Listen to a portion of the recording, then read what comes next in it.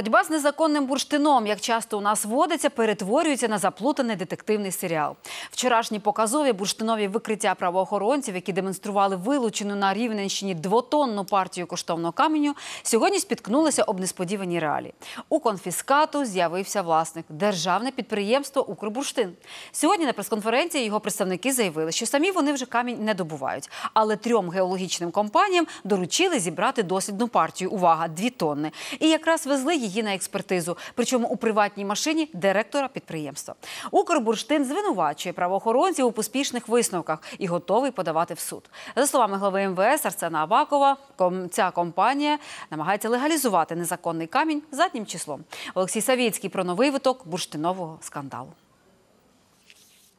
Рекордній партії нелегального бурштину, конфісковані напередодні на Рівненщині, вже пророкували аукціон. Натомість про свої права на сотню мішків з коштовним камінням несподівано заявило держпідприємство «Банкрут» «Укрбурштин». Сама компанія камінь уже не видобуває. В його штаті лишилося лише семеро працівників. Зате має понад тисячу гектарів ліцензованих угідь. Їх розробку довірили трьом субпідрядникам – геологічним компаніям. Офіційним видобутком вони займатися теж не можуть, але мають право на видобуток дослідних зразків. Їх і накопали – понад 2,5 тонни. В процесі вивчення вони натикаються на зразки, які вони відбирають, і потім ну вони ж не можуть його привласнити.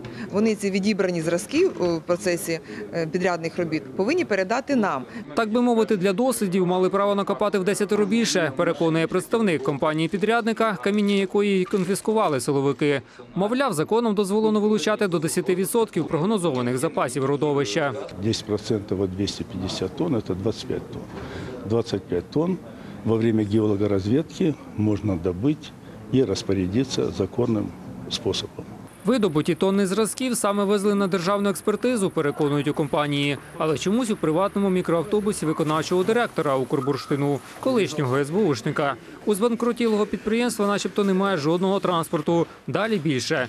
Автобус охорони залишили не на території Укрбурштину, а біля приватного підприємства, заснованого тим же колишнім СБУшником. Саме тут правоохоронці знайшли ще тонну, вже третю бурштину та 27 верстатів для обробки сонячного каміння на суму понад 60 мільйонів гривень. Але директор підприємства переконує, то такі прояви альтруїзму. Треба було ж, мовляв, якось камінці на експертизу перевести. От і пожертвував бусом. Дана сировина, яка була ще не ідентифікована і до сих пор не ідентифікована, не сортована гемологічним центром України, от, знаходилась в моєму особистому бусі, спринтері. От, е, особистий бус, який на мені зареєстрований. Не то, що там взято в оренду десь, він знаходився безпосередньо на мені. Представники держпідприємства звинувачують правоохоронців у поспішних висновках і налаштовані судитися і за автобус, і за бурштин. Кажуть, що ці 2,5 тонни несправедливо назвали нелегальними, адже, начебто, всі необхідні документи на них в Укрбурштину є. Ми вирішили е, працювати е, як е, чисту, показувати все, що знайшли, все, що облікували, все нам передати. Ну, якби хотілося е, наліво продати, е, то мабуть воно б не обліковувалось, не писались би звіти і не готувався б акт передачі. Однак таким аргументам в уряді не вірять. Глава МВС Арсен Аваков переконує, представники Укрбурштину сидять на двох стільцях і в державних, і в приватних компаніях.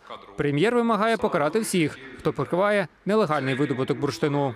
У нас за всю историю эта компания столько не добыла бурштина, как теперь они пытаются обелить и забрать эти камни назад. Ця схема покривається і правоохоронною системою, і органами державної виконавчої влади, і керівниками райадміністрації, і служба безпеки, і прокуратура. Тобто це організоване злочинне угрупування, до складу якого входять як бандити, так і ті, які носять погони.